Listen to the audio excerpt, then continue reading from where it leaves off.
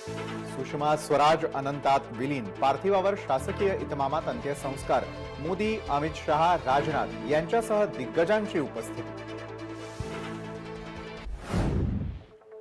स्वराज यांच्या पार्थिवाचं अंत्यदर्शन घेताना मोदी आणि आडवाणी गहिवरले।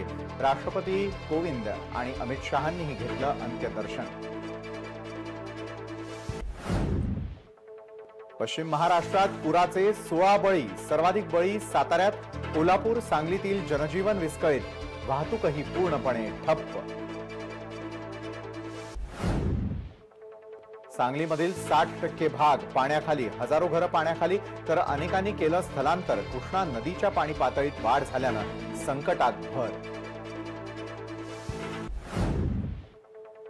कोल्हापुरात पूरस्थिती अधिकच गंभीर. आर्मी नेव्हीचे जवान कोल्हापुरात दाखल. पंचगंगा नदीचं पाणी सुमारे पंचावन्न फुटांवर. पावसाचा जोर कायम असल्यानं चिंतेत वाढ. कोल्हापुरातील अनेक तालुके पाण्याखाली जनजीवन पूर्णपणे ठप्प. जनावरं गेली वाहून तर पुराच्या पाण्यातून हजारो लोकांची सुटका. गडचिरोलीमधल्या पर्लकोटा नदीच्या पुलावरून पाणी शेकडो गावांचा पुन्हा संपर्क तुटला. पुराच्या पाण्यात वाहून गेल्यानं बारावीच्या विद्यार्थिनीचा मृत्यू